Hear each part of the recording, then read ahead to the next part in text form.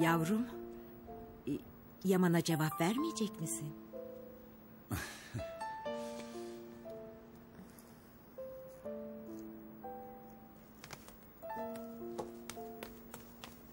Tamam ben ilgilenirim.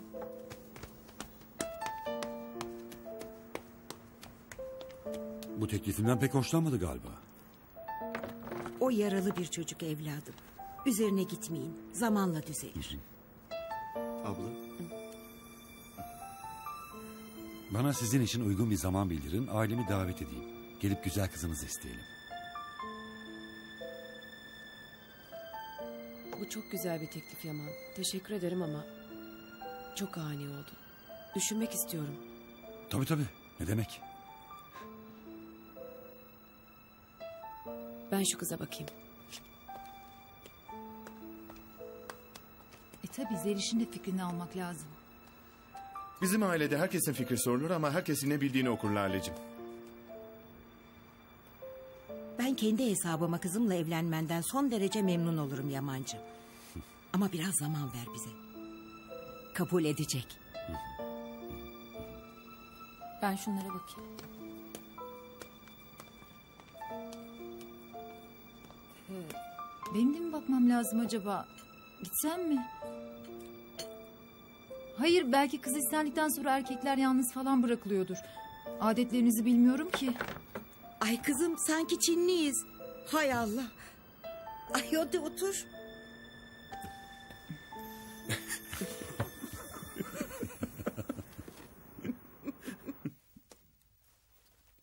Bak bizi korkutuyorsun ama teyzeciğim. Hadi bir şey söyle. Zeliş bak sinirimi bozuyorsun. Konuşsana kızım. Aa Zeliş bak anneni üzüyorsun. Neden böyle yapıyorsun bebeğim ya?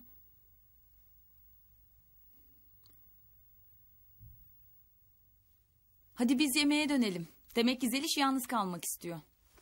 Tabii düşünmesi gereken bir sürü şey var. Mesela sen evlenirsen onu bırakıp gidecek misin? Yaman seni alıp İstanbul'a mı götürecek? Ya da hep beraber mi gideceksiniz?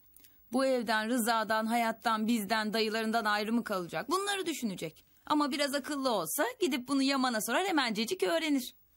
Aman bırakalım kendi kendine meraktan delirsin burada. Hem biraz sussa hiç de fena olmaz. Kafamızı şişirmez birkaç gün değil mi? Ay evet evet. Boş ver.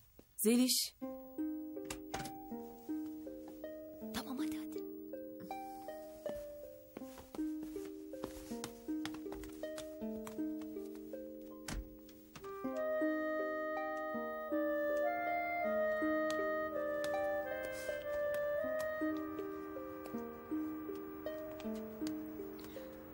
Sakın zaafını belli etme. Hiçbiriniz belli etmeyin. Sizi en korkutacağını bildiği şeyi yapıyor. Ya gerçekten yine susarsa? Buna dayanamam. Ne yapacağım ben şimdi? Artık mutluluğu içeri alacaksın. Bunu çoktan hak ettin. Göreceksin bak sen mutlu olunca kızın da mutlu olacak. Kendine izin ver bırak artık.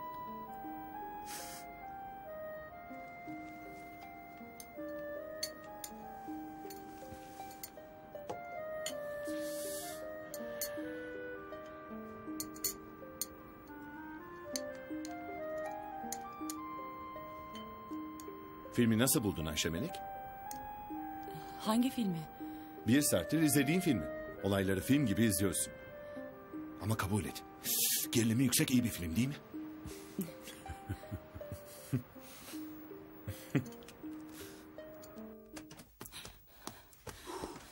Bu aynaya gireceksen önce üşümemeyi öğrenmen gerek. Evet ya buz tuttum ama sesimi de çıkartamadım. İyi ki sen kaldırdın milleti.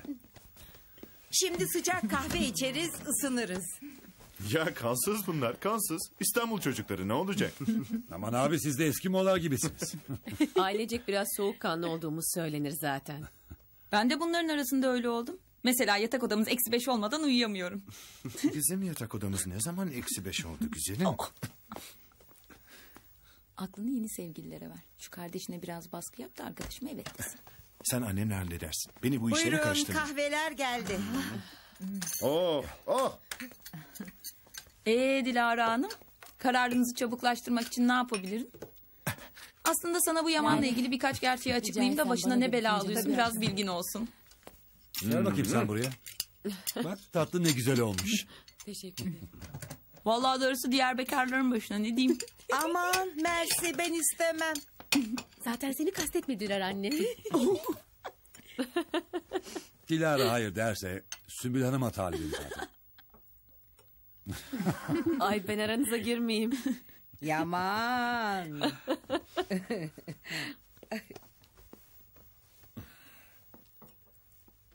Yarın sabah bir kahve içelim anne. Uygunsan tabii. Oğlum radyo mu alıyorsun artık benden? Hay hay tabii ki.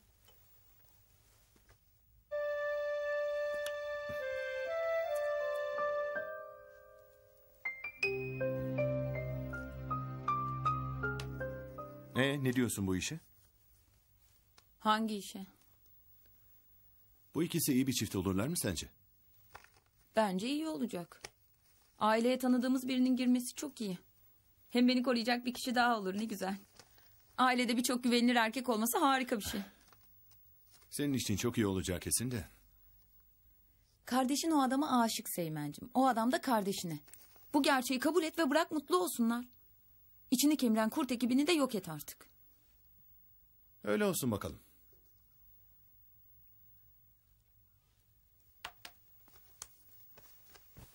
Yarın annenle randevun kahvaltıdan önce mi sonra mı? E ne var ya sorduk. Bu konuda sohbet etmek istemiyorum. Seymen ölürüm lütfen. Neydi o havanız öyle? Kadının bütün neşesini kaçırdım bir şey mi oldu? Bahar cıvıma. Rahat bırak beni kitap okuyorum. Tamam o zaman. Bir daha ben de senin öğrenmek istediğin bir şeyi anlatırsam.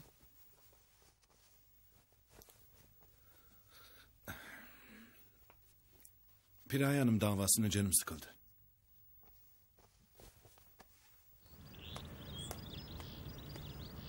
Günaydın.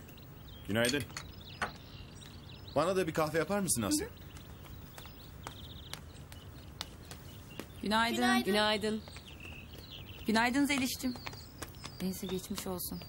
Derdi Yaman'laymış. Evlenmemi istemiyor. Üzerine gitme yavaş yavaş hazırlarız.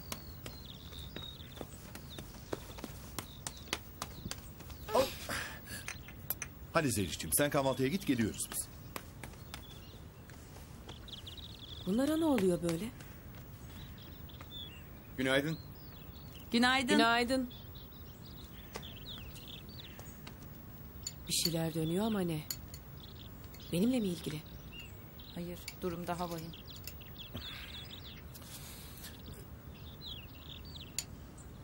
Anne ortalık seyirci dolu. İçeri geçelim istersen.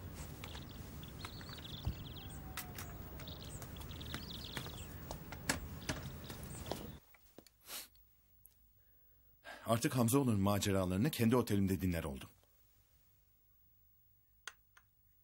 Anladığım kadarıyla da sana olan ilgisi sadece bir söylenti değil artık.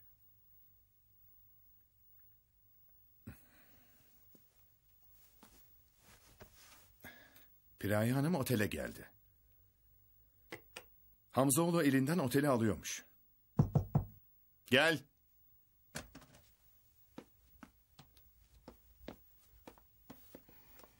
Buyur ağa. Afiyet olsun. Ama ekmek yemeden içersen miden kalkar. Önce bunları ye. Sağ ol Dicle. İzin ver.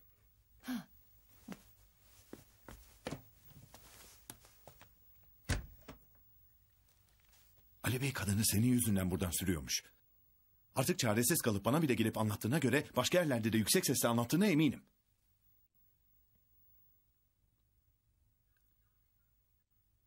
Böyle bir konuda gelip seninle konuşmak zorunda kalacağımı rüyamda görsem inanmazdım.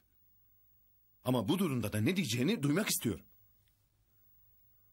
Benimle böyle konuşacağını ben de rüyamda görsem inanmazdım. Senin karşında çocuğun, personelin ya da kardeşin yok. Ben varım.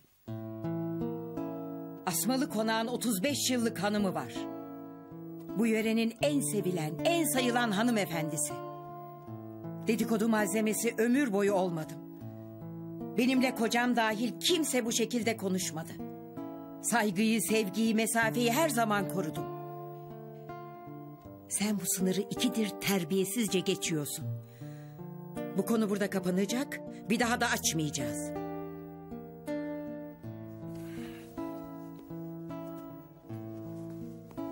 Sınırları geçmeye beni sen mecbur ettin.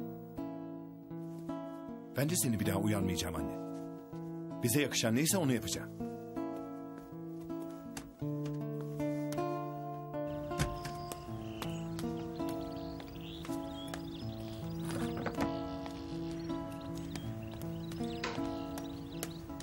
Eyvah görüşmeleri başarılı geçmedi galiba. Ne çok fikrin var senin Lale ya. Birazını kendine saklasana. Ne var? Ben sizin içinizden söylediklerinizi yüksek sesle söylüyorum. Rahat bırak kızı Seyhan. Endişeleniyor işte. Ne var bunda? Bu sabah hayata ne kadar pozitif bakıyorsun ablacığım. Bu evlilik teklifi sihirli bir etki yaptı üzerinde.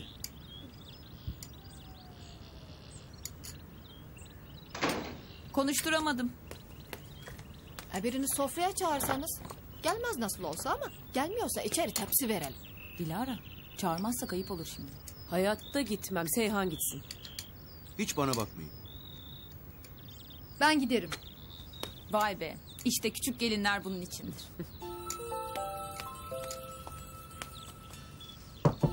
Sümbül anne kahvaltı hazır. Kimse beni rahatsız etmesin.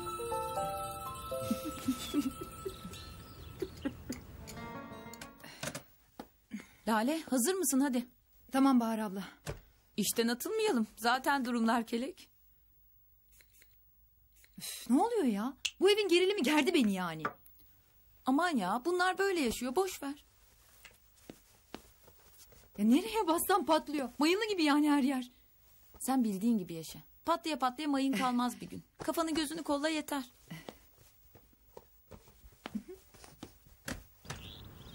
Kart yanında olduğu zaman araba sahibini tanıyormuş. Kilitleri açınca da araba çalışıyormuş. Aa o ne? Yoksa araban mı geldi?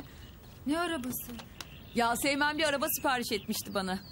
Galeride görmüştük. Tam sana göre diye tutturmuştu. Ay şuna bak. Anahtarsız abla bunu kullanacaksın. Biliyorum. Seymen gördü mü? O gittikten sonra geldi. İyi gidip gösterelim. Atla Lale. Aman gelin abla ilk seferi ben de gelem istersen. Bu kendi kendine bile gider ya.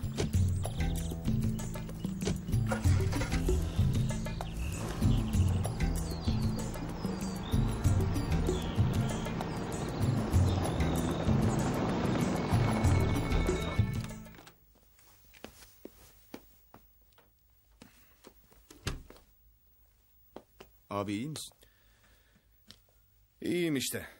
Böyle bir sabahtan sonra ne kadar iyi olunabilirse. Uf, ya özür dilerim. Sabah sabah size de kaba davrandım. Annemle bir şeyler oldu değil mi? Ya bıktım be oğlum. Bir şey toparlıyorsun öbür taraftan dağılıyor. Hangi birinin derdiyle uğraşacağımı şaşırdım artık. Bu kadar insanı tek parça tutmak zor iş. Annem sana ayrı eve çıkmak istediğimi mi söyledi?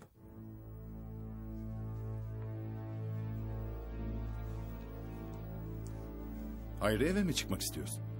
Annem söylemedi? Peki annem ne dedi? Gidin kendi dünyanızı kurun dedi. İtiraz etmedi yani. Öyle mi dedi? Çok güzel. Siz beni delirtmek mi istiyorsunuz be? Ne demek ayrı eve çıkmak? Ben sizi bir arada tutmaya çalışıyorum lan.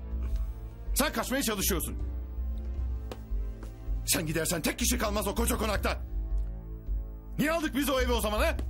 Milyarlarca para döktük. Bir daha başımız üzerinde bir evimiz olsun diye. Yaralarımızı beraber saralım diye. Çoluğumuzu çocuğumuzu beraber büyütelim diye.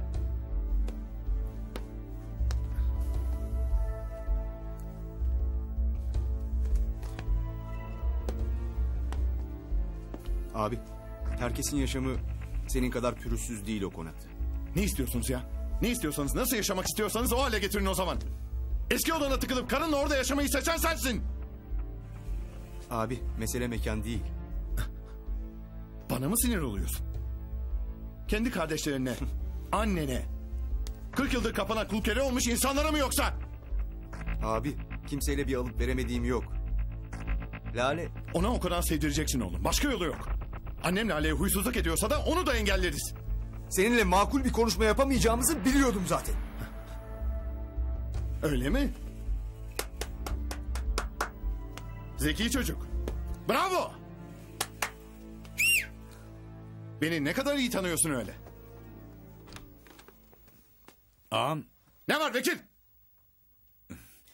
iyi misiniz diye baktım. Sesiniz koridorda inliyor da. Kızlar geldi. Kapıdalar. Korkudan içeri giremiyorlar. Gelsinler tamam.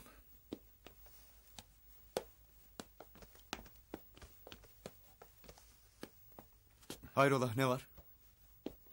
Araba geldi de. Bir gelip gösterelim dedik ama sonra da. Gel güzelim gel. Ne haber Lale? Ya sabah için kusura bakmayın biraz gerildim de. Oturun oturun. Ne içersiniz? Çayı alırım. Dilara ne yapıyorsun? Gelsene. Resim bitmek üzere. Gel bakayım böyle. Bir görmeni istiyorum. Seni görmek isteyen kimseler de var burada. Vallahi sorup duruyor. Tamam kızı al gel. İyi olur. Biraz vakit geçirsinler hem Yaman'la. Hı hı. Hadi bekliyoruz. İçer misin? Ay sağ ol bayılırım. Bayağı kolayladın ha. Hmm, neredeyse bitti. Yetişmeyecek diye korkuyordum ama. Neyse pratiğimi kaybetmemişim. Çok güzel oldu. Aslında biraz aceleye geldi sergi telaşından. Hemen kendi resimlerime başlamam lazım. Böyle fırsat bir daha ele geçmez. Yardımcın var neyse ki. Oo Memo Bey. Neredesin sabahtan beri? İlham anca geldi galiba. İnsanda ilham bırakıyorlar gelin ağam. Sabah sabah yemediğimiz fırça kalmadı. Boş ver bizim de öyle. Ama bir sanatçı bunlara pabuç bırakmaz. Kimse anlamasa da sanatı onu anlar. Biz işimize bakalım. Doğru valla.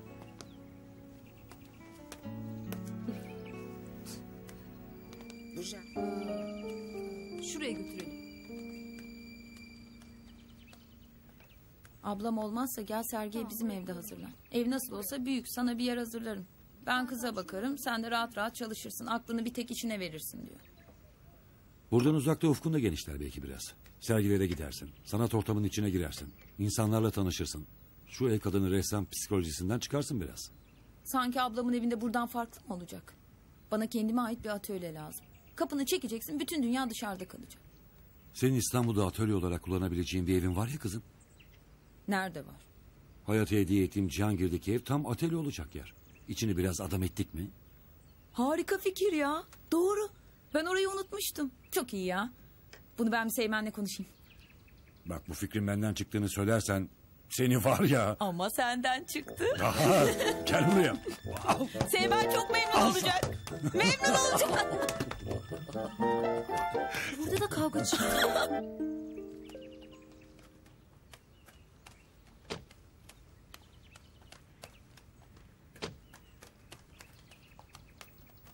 Hoş geldiniz. Buyurun buyurun Dilara. Gel bak nasıl olmuş. Aa çok iyi. Bitirmişsin. Neredeyse. Memo sayesinde. Hoş geldin. Aa, bana bozuk musun? Hayır, Mektuplar bekliyor. yazmak istemiyorum. Ne yapmak istiyorsun? Hiçbir şey resme bakıp gideceğiz. Zeliş. Of, tamam.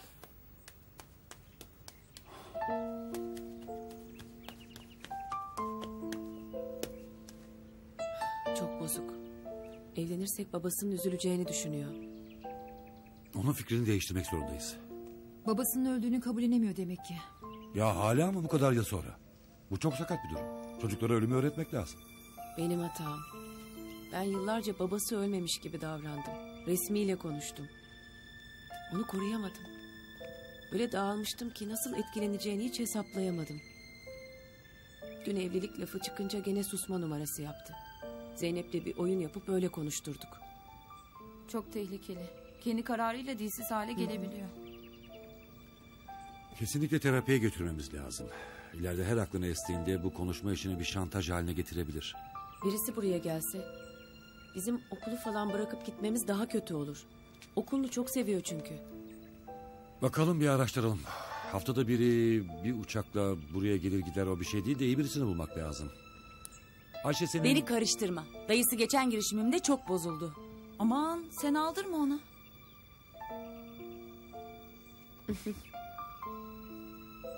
İlgilenmeyin. Ha Dilara, Yaman'ın İstanbul'da hayata hediye ettiği bir ev vardı ya. Cihangir'deki. Hı hı. Orayı atölye yapmaya karar verdik. Aa çok iyi fikir. Bana da gidince kalacak bir yer olur.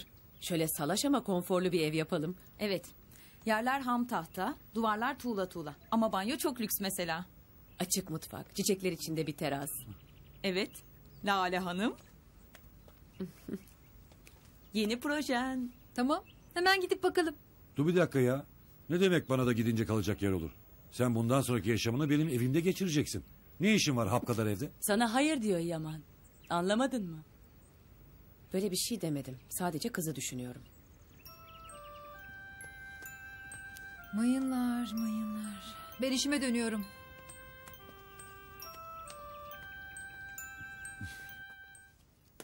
Ben tamamım. Hadi eve giden var mı? Ben sizi götürürüm.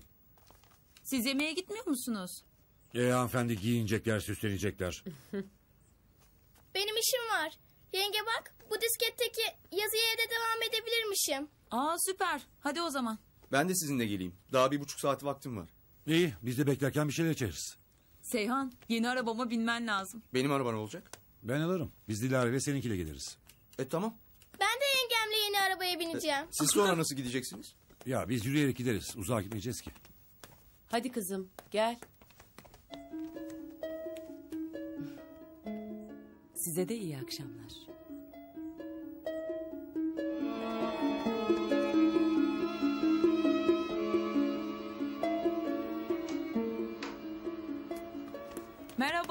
Hoş geldiniz. Hayriye, Merhaba. beylere içki ikramı yapın. Oo, baskın var. Buyurun. Sevgilim. Hayatım. Merhaba. Oo, oo, oo. Babanın kağıtlarını mı parçalıyorsun kızım? Aferin sana.